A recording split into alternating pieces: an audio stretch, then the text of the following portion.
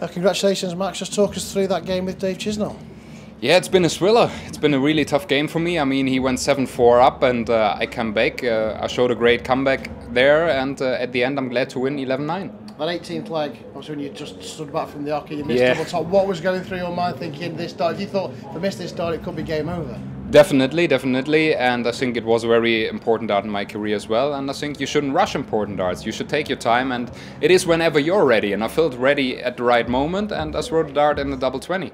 And just a word on the crowd out there as well, this famous Blackpool crowd, this iconic arena as well. How, how are they for you out there? It's amazing. I mean, the venue looks iconic, and uh, you know, it was Phil Taylor's uh, favorite tournament. The trophy is named after him this year, and it's a special place to be and a special place uh, to play. So, uh, yeah, to perform well on that stage means a lot to me. It's quite a quick turnaround for you now in the second. I think you play on Tuesday, don't you? So just one Yeah. day downtime. Is that a day on the practice board?